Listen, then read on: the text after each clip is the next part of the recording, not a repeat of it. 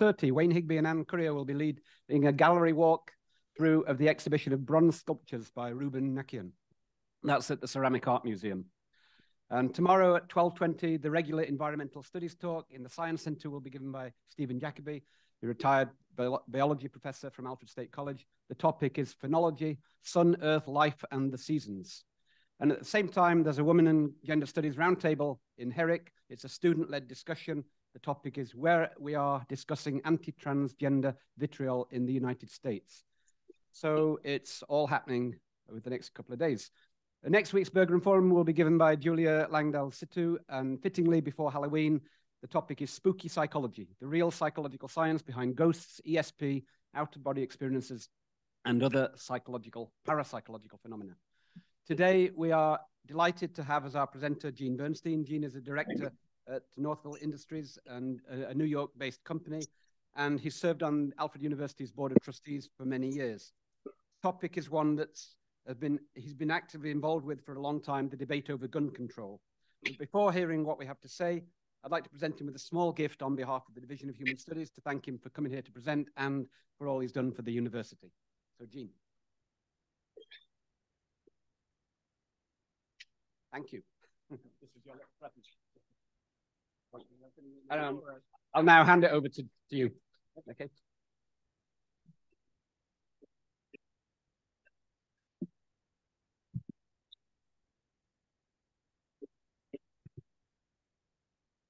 Oh, it fell off. That's okay.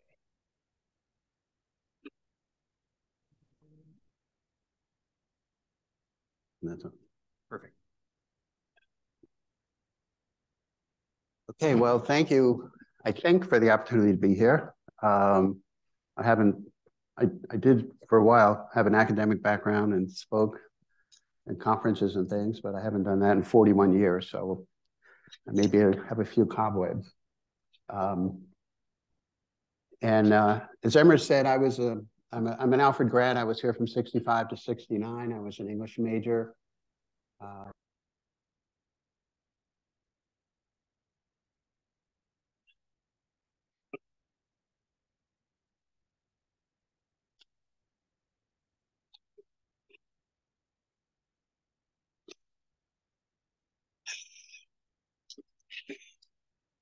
and I want to repeat that name. Brady United to End Gun Violence. So emphasize that neither Brady nor any of the other major gun violence prevention groups want to take away the right to own a gun or a rifle, with a few exceptions backed by a majority of Americans. And I'll come back to that later.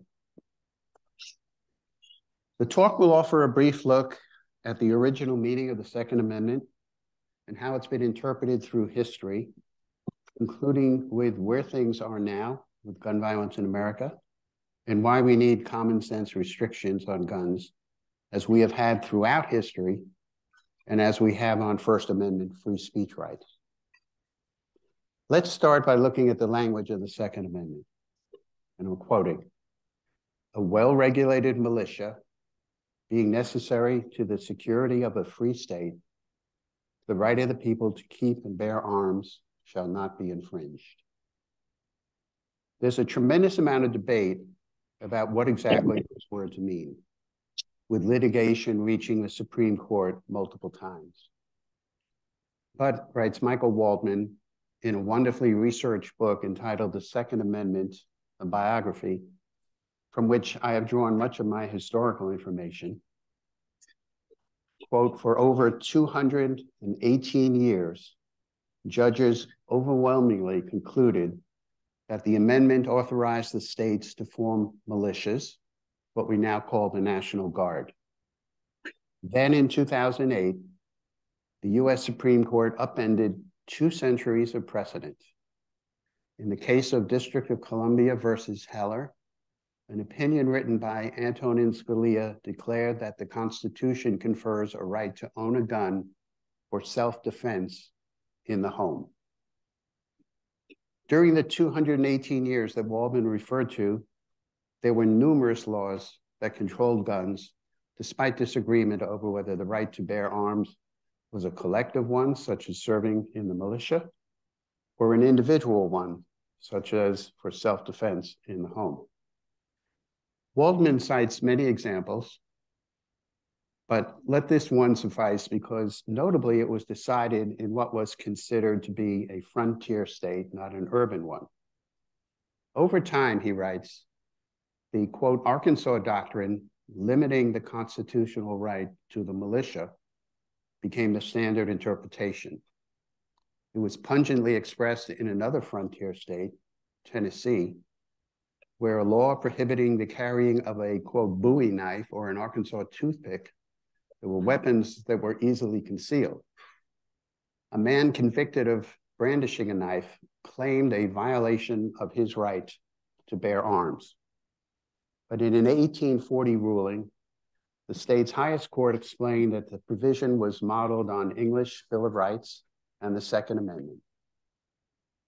In the decision, they wrote, the object then for which the right of keeping and bearing arms is secured is the defense of the public. A key was the phrase bear arms, which was understood by our founding fathers to have a military meaning, as per the many examples during the formation of our nation that are cited in Waldman's book. He goes back and looks at various things that were written in the 1770s, the 1780s, at the time the Constitution and the um, Bill of Rights was being done, and looked at how bear arms was being used. The, the opinion goes on to say, and I quote, a man in the pursuit of deer, elk, and buffaloes might carry his rifle every day for 40 years, and yet it would never be said of him that he had borne arms. Much less could it be said that a private citizen bears arms because he has a dirk or a pistol concealed under his clothes, or a spear and a cane.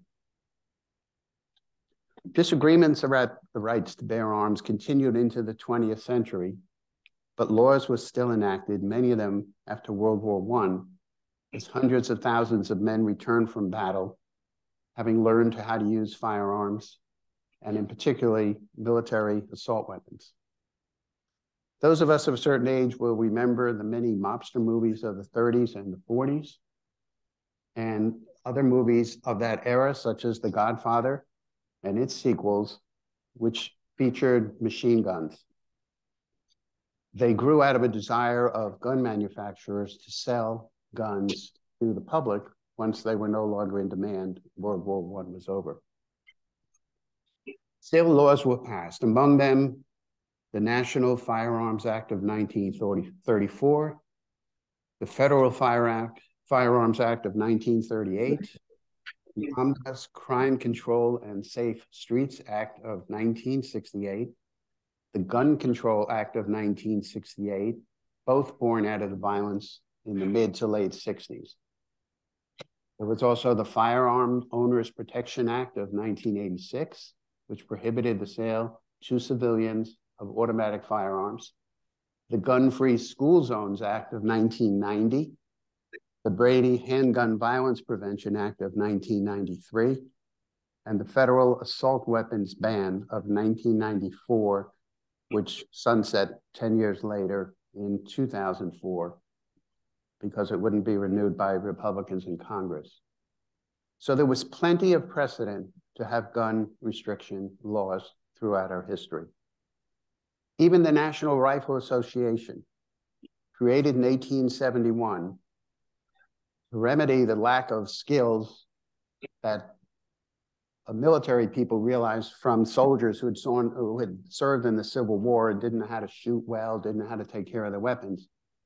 Even in the, the National Rifle Association was backed, um, in, backed legislation in 1931, limit concealed weapons, to prevent possession by criminals, the mentally ill, and children, to require all dealers to be licensed, and to require background checks before delivery of weapons.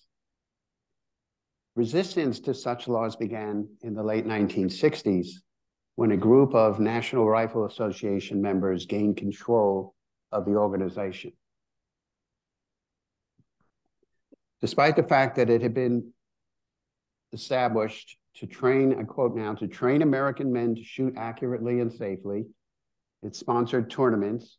It pushed for rifle competition in things like the Olympics. The NRA was taken over by a group that was much more politically motivated.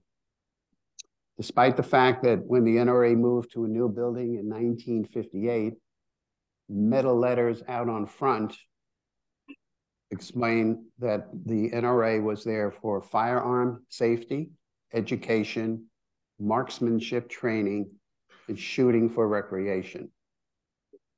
And in 1968, a decade after that move, NRA President Harold Glassen clarified the organization's position on the Second Amendment. Quote, does it, it being the right to bear arms, mean that every individual has a right to carry a gun at all times, concealed or openly? Obviously not. With the violence of the 1960s bleeding into the 1970s, the NRA's traditional interests were discarded, and at the 1977 annual meeting, often referred to as the revolt at Cincinnati, new leadership took over, a leadership that was, in Waldman's words, dramatic, dogmatic, and overly ideological. From there on, the relative consensus about the need to limit guns devolved into a socioeconomic and political battle. Lines were drawn between rural and urban, Republican and Democrat, blue collar and white collar, et cetera, et cetera. In 1980, for the first time in its history, the NRA endorsed a presidential candidate, Ronald Reagan, an exemplar of Western culture in opposition to government regulations. Ironically, Reagan was the victim of an assassination attempt, as were two other people in his entourage, including his press secretary, Jim Brady. After that, Reagan pushed for what became the Brady Handgun Violence Prevention Act, passed in 1993 under President Clinton, which amended the Gun Control Act of 1968. It mandated federal background checks and imposed a five day waiting period on purchases, but it expired in 2004. And as a result, approximately 20% of the guns sold today have no background check such as those sold at flea markets, person to person, among family members, online, or even more ominously, ghost guns. Then, of course, there was the 2008 District of Columbia versus Heller case in the Supreme Court, which, as mentioned, ruled that the Second Amendment protects an individual's right to keep and bear arms for self defense in the home, and not just for service in the militia or National Guard. This decision was incredible in two ways. First, conservatives on the court typically put a heavy weight on precedent, what is called in legal terms stare decisis, a Latin term meaning, quote, to stand by things decided. Yet here they went against over 200 years of precedent. To give you an idea of how rare this is, since its creation, the Supreme Court has rendered over 25,500 decisions, and only 146, or less than one half of 1%, have been overturned. Second, and often overlooked, in that opinion, Scalia added that, quote, like most rights, the right secured by the Second Amendment is not unlimited. It is not a right to keep and carry any weapon whatsoever in any manner whatsoever and for whatever reason. In addition to traditionally championing stare decisis or precedents, Scalia and more recently justices like Thomas and Alito have stood firm as originalists, defined by the legal scholar Steve Calabresi of the very conservative Heritage Foundation as, quote, those who believe that the constitutional text ought to be given the original public meaning that it would have had at the time it became law. But there's not a single syllable in the Second Amendment that refers to bearing arms in the home for self defense.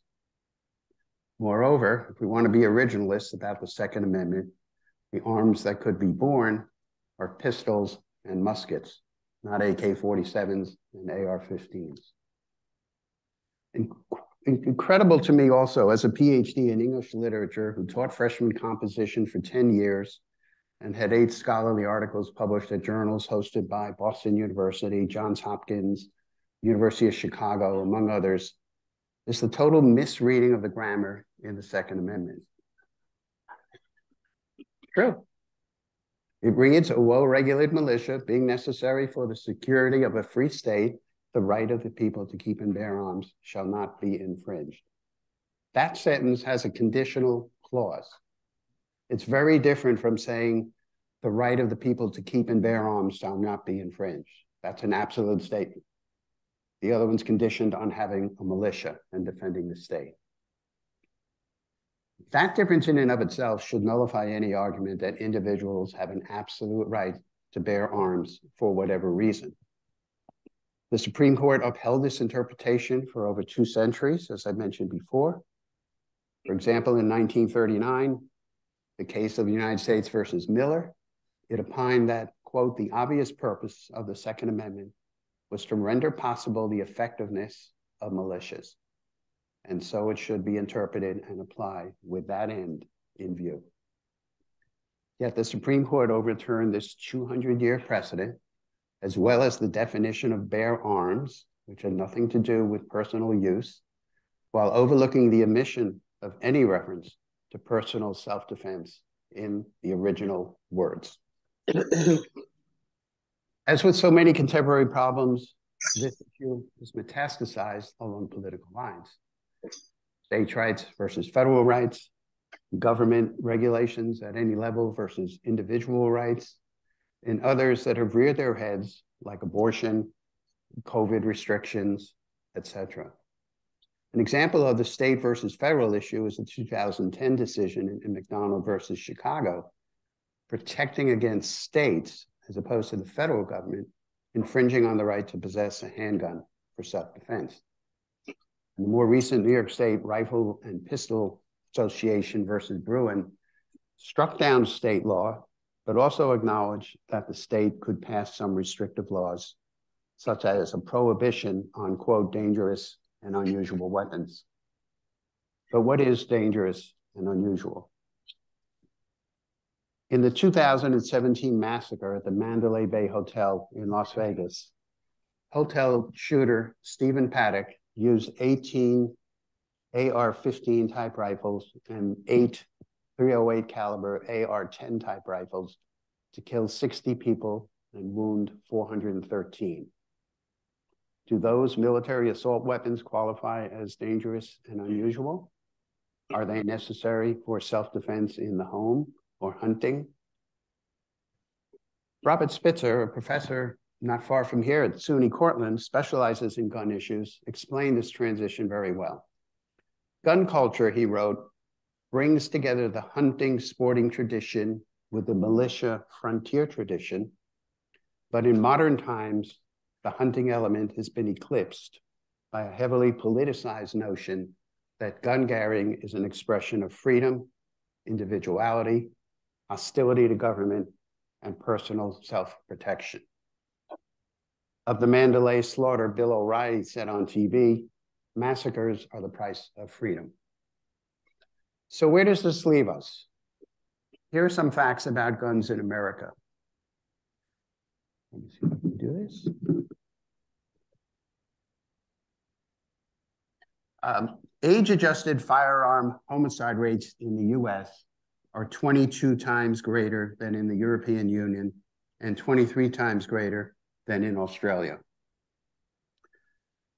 Fact two, gun violence accounts for over 7% of the deaths in the US among children under 20 and is the leading cause of death of children under 20 in America. More than car accidents, more than drowning, more than anything else, guns kill more children than any other thing. America has more guns than it has people. The rate of gun deaths per 100,000 far exceeds other countries. Is an um?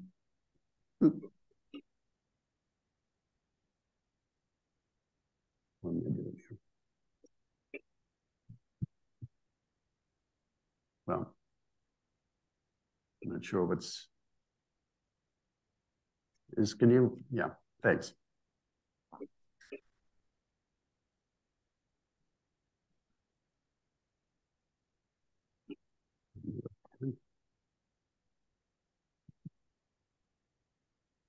Okay, sorry, thank you. This is another graphic way of showing that the United States way up on the far right, way ahead of any of these other uh, wealthy, wealthy type countries. Um, third fact, mass shootings in the US are on the rise. We're up to 476 as of the 28th of August. I can guarantee you there's probably another 50 since then. And Americans are increasingly dissatisfied with the govern the, the laws we have now. You'd see it jumped up to 66. It comes down a little bit to 57, but overall, it's trending up from 47% in, in 2015. So why isn't enough being done on a national level? Despite passage in 2022 of the first major gun safety law in nearly 30 years. Well, in addition to the political and geographic factors mentioned before, much opposition to common sense gun laws is predicated on a lie promulgated by groups like the NRA, which, as mentioned previously, underwent a dramatic change from sponsoring gun safety and marksmanship and competition to polit politicizing gun rights. The lie that the gun violence prevention uh, groups I'm sorry, the lie is that the gun violence prevention groups want to take away your guns. About this lie, former Chief Justice of the Supreme Court, Warren Burger, appointed by the Republican Richard Nixon, opined this has been the subject of one of the greatest pieces of fraud, and I repeat the word fraud on the American public by a special interest group I have ever seen in my lifetime. Why one of the greatest frauds? Because as I said, none of the leading gun violence prevention groups want to take away a citizen's right to own a gun or a rifle. There's evidence of that, here are some of the mission statements. Giffords is an organization dedicated to saving lives from gun violence, led by former Congresswoman Gabrielle Giffords. We inspire the courage of people all walks of life to make America safer. Nothing about taking away guns from people. Sandy Hook Promise. Sandy Hook, you'll remember, is the village in Connecticut where 21 children were massacred and five adults. Sandy Hook Promise envisions a future where children are free from shootings and acts of violence in their schools, homes, and communities. Nothing about taking away the right to have a gun. Every Town, the biggest organization of all because it's funded by Bloomberg, talks about all these things. They're fighting for the changes that will save lives. Not a word about taking away people's rights. But it hasn't stopped groups like the NRA or even the Supreme Court from distorting the issue.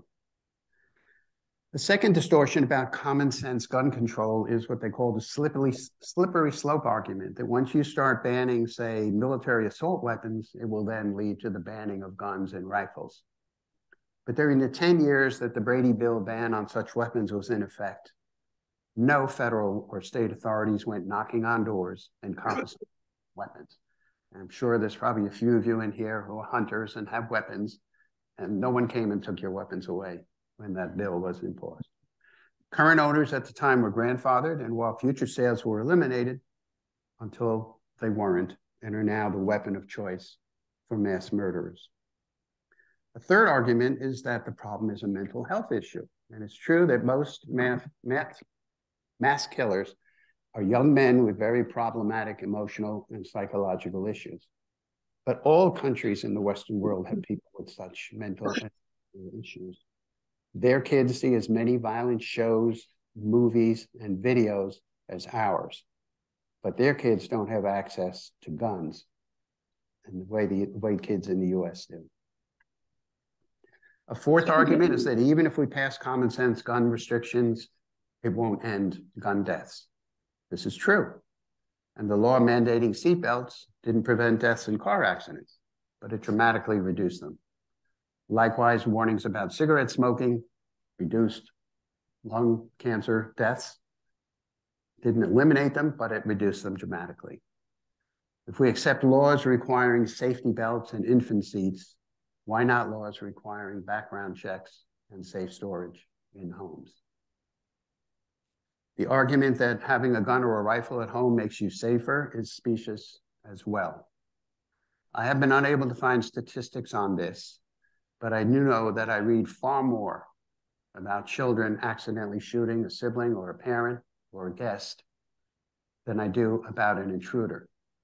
Unless, of course, the horrible recent incidents where people were shot by either driving up the wrong driveway or knocking on the wrong door. So, what does Brady want? Three things universal background checks, because 20% of the guns sold in America, as I mentioned, have no background check, which means any criminal, terrorist, or psychotic can get their hands on one. Not only do gun violence prevention groups want this, but so do an overwhelming majority of Americans, including members of rifle groups and gun groups.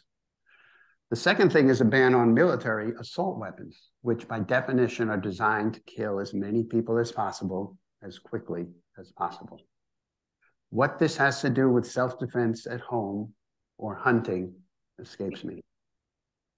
The third thing gun violence prevention groups want is red flag laws, which enable law enforcement to remove a weapon from a person deemed by a judge to be a risk to him or herself or others. You know, like the many mass killers who post on social media how they plan to kill other students or teachers or ex-lovers or blacks or Jews or whatever. I read recently that the um, the killer in Las Vegas one of his friends had been pleading with him for six months because he was getting so upset, so whatever, and this and that. And he said, Don't, this friend was writing, don't harm anyone, don't do anything. If there had been a red flag law, if he had gone to law enforcement, they would have been able to get a judge to give them permission to take away this guy's weapons. These are all common sense gun violence prevention actions that in no way deny law abiding citizens the ability to purchase guns or rifles and I'll show you finally, um, here's statistics about what the majority of Americans feel about different types of federal law. The federal law requiring background checks, 85%. The federal law that bans those convicted of domestic violence, 83%. Making 21. These are all things, they're not going to take away the right of a a, a normal person, no problems, no legal problems, no emotional, psychological problems to have a gun. Even the ban on AR-15s, you've got almost 60%. So um, the American public seems to want it. Somehow it doesn't get done, like many other things that don't get done in Congress. Uh, it's pretty simple. We do not, in the gun violence prevention area, want to take away people's rights to have guns. We want to reduce gun violence. Thank you.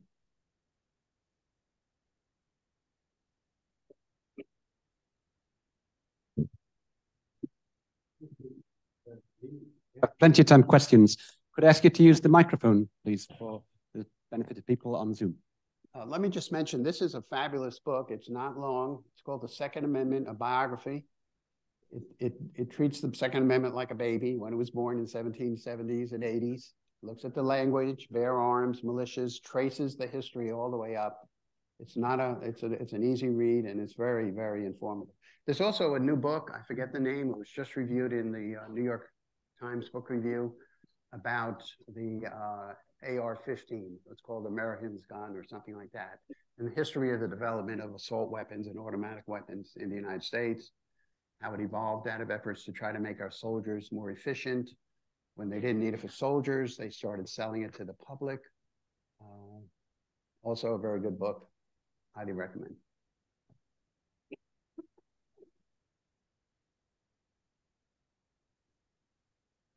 I would like to comment on your, your graph showing the number of deaths in various countries.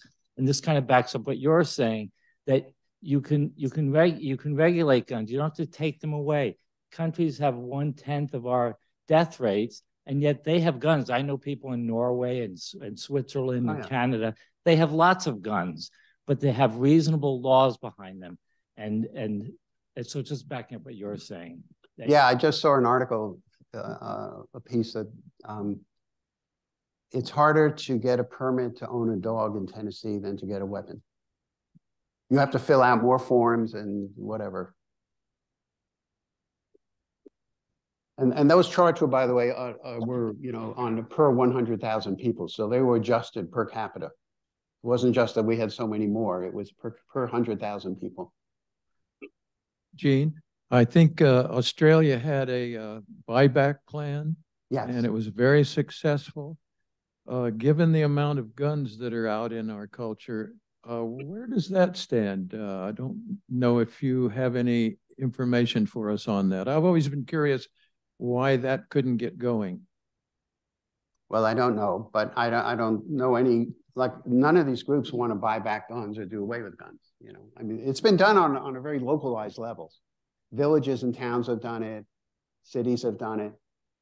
Uh, but there's a right in the Second Amendment to have some arms, you know, whether it's an individual right or, or, or a military right, but uh, none of the groups want to do away with the Second Amendment. Although one of the former Supreme Court justices, don't remember which one, said at one point if he could change anything in the Constitution, he would do away with the Second Amendment.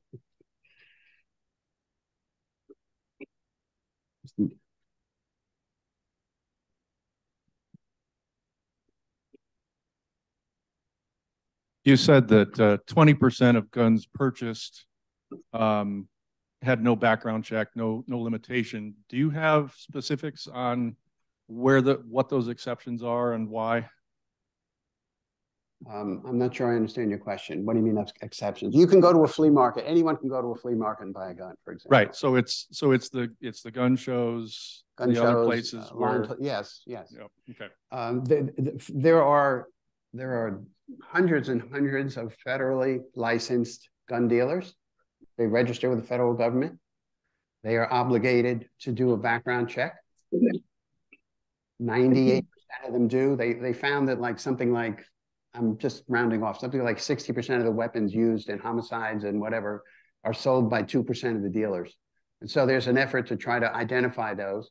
Brady has done that, that through a Freedom of Information Act. We did it in New Jersey, and we were able to match up where guns were sold and then where they were used in crimes. And it's a very complicated issue. Um, there are about 42,000 gun deaths in America every year. Roughly half of them are suicides.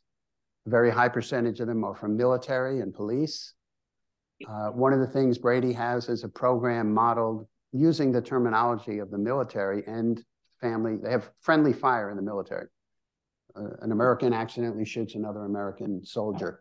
We have a program we're running in Missouri called End Family Fire. And it's an effort to work with gun owners, make sure your gun is locked up, make sure it's in a safe place. There are companies who are even exploring whether they could offer, in some states, a tax break to uh, stores that sell weapons if a person buys a safe to put the gun in and store it. There's a lot of battles going on. Um, a big one was won a couple of years ago. Remington lost a $73 million lawsuit. Remington was the company that uh, sold the weapons that were used in Sandy Hook. Uh, there is something called PLCAA, which protects legal something so that gun, gun dealers and stores couldn't be sued. But they found a sort of a way around it by attacking the way the company was advertising. And they had things like, you know, show your manhood and all these commercials and ads online that these 16 year olds would watch and get all hyped up. And a jury upheld that that was a, a major cause of why this was done. And Remington was fined $73 million. There's other things like efforts to uh, raise insurance for people who have automatic weapons and things like that. It's a, it's a multifaceted kind of effort to try to reduce gun violence. Gene, I have a question. Um, one would expect that uh, one group that would be very much in favor of gun control would be the police. Uh, is that true? And perhaps uh, it seems to me that the police aren't at the forefront of um, advocating gun control. Why is that? I think in general they are in favor of this, um, especially assault weapons. I mean, most of the mass killings are assault weapons based but a lot of them are, are, are political And, you know, the, like I'm on a board of a police foundation on Long Island. The, the head of the commissioner of the police is appointed by the county executive. It's a Republican or a Democrat. And so politics gets involved a little bit. They have to say we're upholding the law. We're not taking a side one way or the other.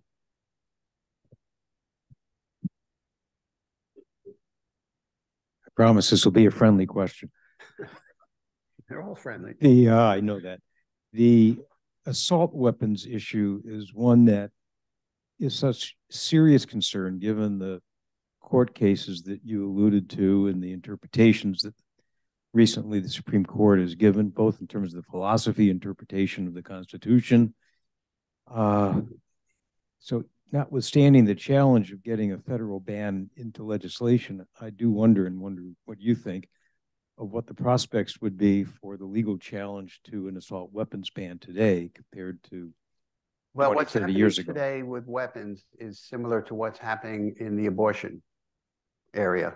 And um, there's, you know, at the federal level, Roe versus Wade up, overturned another precedent. That one was only 30 years or so, 40 years, as opposed to 218 years with guns. But individual states are passing laws. Some are prohibiting any kind of abortion. And again, there's a battle. So the NRA has it out there in gun owners' minds that we want to take away their guns. Look at the mission statements, whatever. Nothing talks about taking away guns unless on a red flag law. You're some guy that's posted stuff. I'm going to go, you know, kill my teacher. I'm going to go shoot my uh, wife that I'm divorced from, whatever.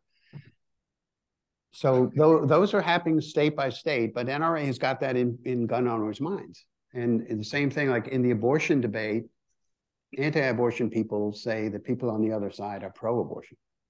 They're not necessarily pro-abortion, they're pro-choice. My wife and I are pro-choice. We're not in favor of abortions. We hope women never have abortions, but we don't think it's our position to tell them. So we're not pro-abortion, we're pro-choice. But the language is always they're pro-abortion. So it's the same kind of thing that's happening. In each state, the blue states are passing stricter laws on guns. Some of them get overturned, some of them they rewrite. You know, concealed carry is a big issue. There is a statistic I didn't show, but the, definitely the states with the most lax laws about gun control have the most gun deaths, as you would expect. The more guns that are out there, the more gun deaths there are going to be. The more cars are on the highway, the more car accidents there are going to be. It's, it's pretty common sense. But it's doing state by state, and it's very red versus blue, like abortion. I, I, a couple questions. Uh, one is one of the uh, tactics that the anti-gun lobby has utilized, or not so much utilized, but has at least talked Not about. anti-gun. Don't say that. Okay, not anti-gun, but uh, you know, the gun control, whatever. Gun Uh, violence is- prevention. Gun violence prevention is suing manufacturers of firearms. Can you address that? Well, they're they're I, you can't sue them like you could sue, say, you know, a car company because they had a defective part, but they are suing them for advertising. There was a big article this week also. Uh, one of the companies that I think owns the AR-15 has been paying placement money to have their rifles used in some of the online videos that kids play with you know, the way in movies, you know, Mercedes will pay to have a car in there, or a liquor company will pay to have their drink being used in the mirror to try to influence. So uh, we're working, for example, with a lot of Hollywood producers for movies and TVs to try to change the culture. What does that mean? Well, there's a zillion police shows on TV. Typically, the policeman comes home from a top, he goes to the refrigerator, you know, he gets a beer, whatever. We're trying to get him to do things like the policeman comes home, he takes out his gun, he puts it in the safe, and then he goes and gets a beer. And, and trying to sort of, it's, it's like trying to move, uh, you know, a tanker on the ocean. It's a very slow thing, but trying to change the cultural attitude towards weapons and guns uh, to, to try to get people to think about being safe. And then I got a kind of a follow-up question, which is not directly related, but it has to do with the fact that right now, to the extent that there is anti-gun violence legislation, it tends to be on the state level. But there are neighboring states, of course, that might not have this kind of thing. And Yeah. so someone from California, where there are restrictions, can you know drive across uh, to Nevada and uh, or Idaho and, and, and, get as many firearms, I suppose, uh, as one wants. Uh, can you? Is there any hope for this kind of thing? For this kind of you know serious anti-gun violence uh, uh, uh, legislation without a federal mandate? I don't think so, because you know local legislatures in each state are going to reflect whatever their voters want. Uh, this is a big issue. I mean, Chicago is a high, high rate of gun violence, but they've tracked those guns. Most of them come from Indiana, because Indiana has very lax rules about it.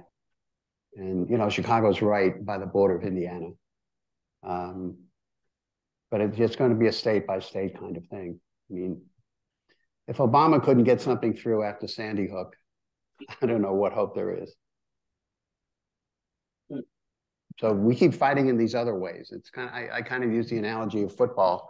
Instead of trying to ram it straight through the line or through Congress, we go around the end and try these different things, lawsuits, end family fire, FOIL information about which dealers are selling uh, selling illegally. We all remember when we were 17 or 18 year olds and wanted to get beer, we couldn't, and we got someone to go in and buy it for us. There are a lot of people do that now. They, if they went in and got a background check, they wouldn't be permitted to do it.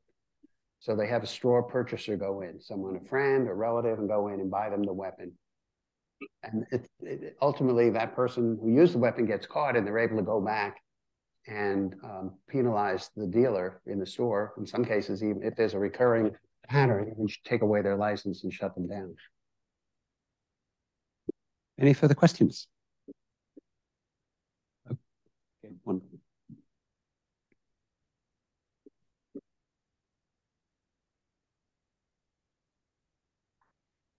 Gene, could you repeat the question? Yeah, she asked if, I, did I talk about guns in schools? No, um, not particularly, but uh, you know, I think it's a horror that our kids are, you know, five year olds are learning how to hide under desks and what they have to do to lock doors. And I mean, it's unbelievable. And, um, you know, my wife and I go to Europe a lot. And one of the things we, we always hear wherever we are, we were in Ireland, we were in Amsterdam, we were, you know, like, what's with the guns in America and all the gun violence? And, You know, um, and, you know, they don't have a Second Amendment that talks about the right to bear arms, even though it's distorted because it's a military right. But um, you know, school districts do their own training. There's a lot of arguments about whether teachers should be having armaments or not, or having guns. We know three. We have three relatives who are teachers, and like, I don't want to be holding a gun. I don't know. I mean, half the time the wrong person gets shot. You don't know who it is. And what chance do you have with a pistol that some 17 year old maniac with a vest on and an AK-47 is blasting his way through the school. Yeah. I don't know how to verbalize this, but how has um has uh Americans' understanding about other people with mental health problems has that evolved in any way since all of these shootings? It well, seems like that's the root of a lot of this. Well, you have the mental health problems, the emotional issues. You, I think a lot of you know that. We see that with students here at the university, and it's not just Alfred, it's all around. But the access is part of the problem.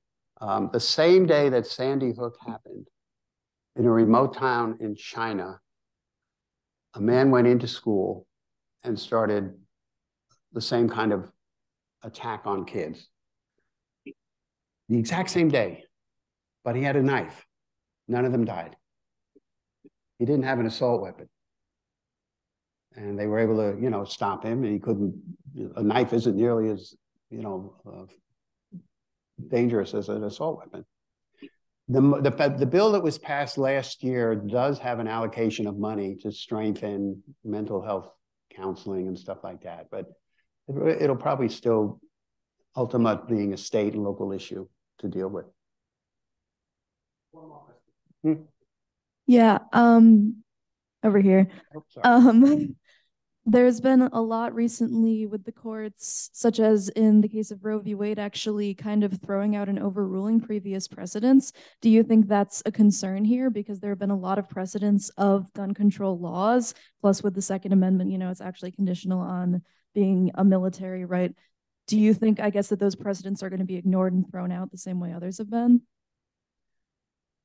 It's, it's hard to say. Um, I think, you know, people have very low confidence in, in the court system right now. I think a lot of it has to do with this change, the politicization of the court, the effort by Roberts and others to make it not seem that way. Um,